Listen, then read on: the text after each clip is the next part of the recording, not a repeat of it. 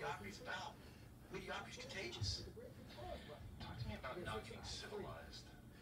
Not getting civilized is about having a savage mentality. Civilized is something where people, uh, it's, a, it's, it's a comfortable world.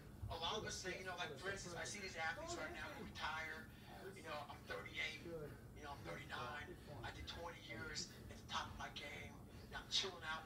You see them a year later and how they look. What the hell just happened